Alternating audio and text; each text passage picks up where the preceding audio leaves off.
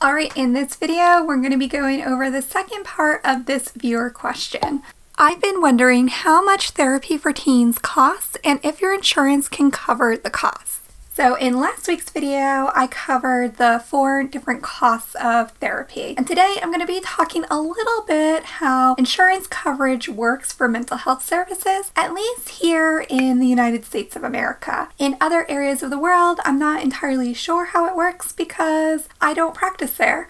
Just keep that in mind when you're watching this video. It might work a little bit different in your area of the world. So there are three main ways that insurance may be able to cover the financial costs of therapy. These are in-network coverage, out-of-network coverage, and single case agreements sometimes referred to as out of network exceptions. But first, let me introduce myself. My name is Mallory Grimste and I am a teen therapist. I am here to help you improve your mental health. If that is something that you're into, make sure that you hit that subscribe button and turn on the bell notification. That way you are notified every single time I post a new video. If you are looking for help or support getting started with mental health therapy for whatever situation you're dealing with, you might want to share this video with your parents if they're concerned about financial costs or investment or how to start therapy. Like we talked about in last week's video, one of the main costs of therapy is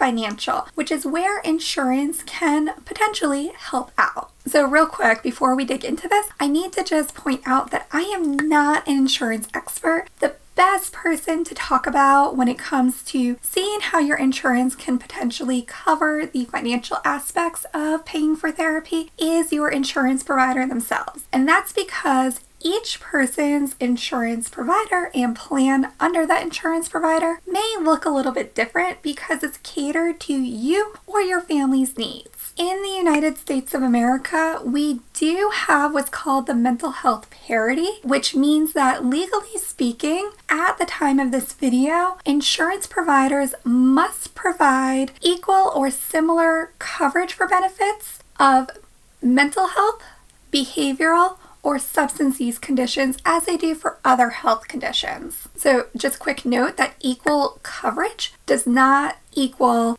good coverage. It just means comparable or similar. In-network coverage is typically the most easy to understand because it's the most widely used use of your health insurance coverage for health services. So what this means is that when somebody is considered in network with your insurance plan, they have a written contract with the insurance provider that they will accept the rate that the insurance will pay them in exchange for their members being able to access services with that provider. So that means, like, say for example, you have ABC insurance. Yes, I'm making up a health insurance because insurance plans are all different and I don't want you to mistake the example for an actual insurance provider. ABC Insurance, you go to their website or you go to a provider's website and you look and see do they accept ABC insurance as direct payment. If they do, that means that they are in network. And so you would just follow whatever coverage plan your insurance says that they cover for in network services. So this may mean meeting a deductible, may mean paying a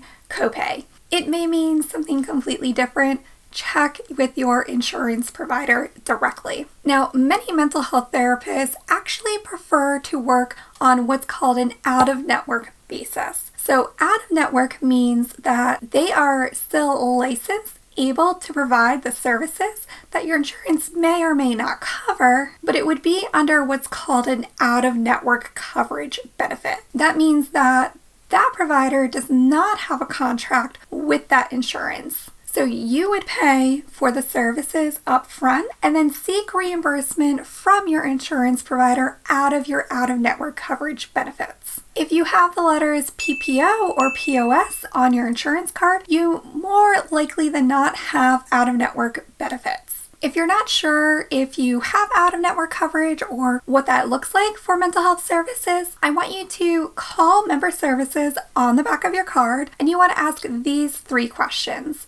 Question number one Do I have out of network benefits or coverage on my plan for behavioral or mental health services. Now, some insurances classify um, mental health therapy under behavioral health. So if you don't use that language, they might say no when they really mean yes. If you do, then ask, what is my coverage and what is your reimbursement policy? This is where they'll tell you if you have to meet a certain out of pocket deductible before they start reimbursing for a portion or all of the out of pocket costs similar to your car insurance. So many of us, if you have car insurance, you have a deductible so that if you end up in an automobile accident or you need to use your automobile insurance for any reason, you have to pay up to a certain out of pocket cost before your automobile insurance coverage kicks in. The same is true for health insurance coverage. And then the third question, this requires a little research. If you already have a mental health diagnosis, you want to have that actual diagnosis and preferably the DSM 5 code that goes along with it so that your insurance provider can look up specifically for that diagnosis what they are willing to cover and not cover. If you have a specific provider in mind that you're looking for reimbursement coverage for out of network benefits, you also want to ask that provider what are the codes that they use to bill for services rendered. Now, these are not the same from discipline to discipline, and they're not always the same even therapist to therapist. So, as an LCSW, or licensed clinical social worker, I have certain diagnostic codes for similar services provided that a psychologist would use. But the number code that I use as an LCSW would be different than a psychologist would use. Now, I don't know why they get so nuanced with uh, the different insurance coverages, but uh, they do. so make sure that you are referencing the right codes when you are asking for what your insurance provider specifically reimburses for. And if you happen to know the session rates for those codes, even better because then you can get exact numbers. that was a doozy.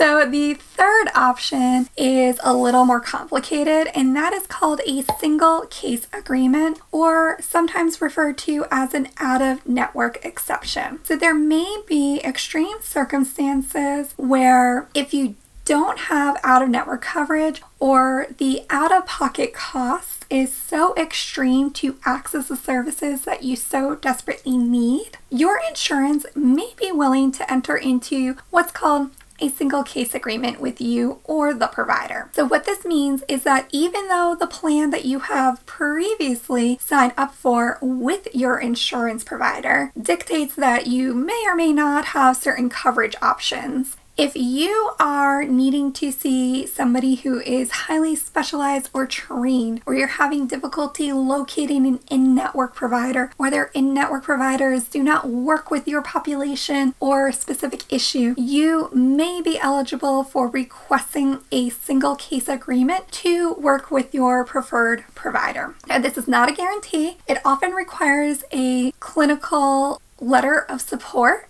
which means that you may need to take a risk, complete a client assessment to obtain a diagnosis and that letter before you can start working with that provider. For example, I happen to be one of few therapists in this area in Connecticut where I currently practice that runs group therapies for teenagers. Because of that, if somebody cannot find another provider to provide that level of care and support, and it's deemed medically necessary for them to engage in that level of treatment and care, then they may be eligible for pursuing that single case agreement. Ultimately, though, your insurance provider gets to decide whether they want to engage in that level of support with you or not. If you are feeling depressed and you're looking for ways to ask your parents for help and tell them that you're feeling depressed, I highly recommend that you watch the video on your screen right here where I'm talking all about how to get that support from them. And if you found this information in this video useful and helpful, please be sure to share it. You never know who you could be helping in the process. Thanks for watching!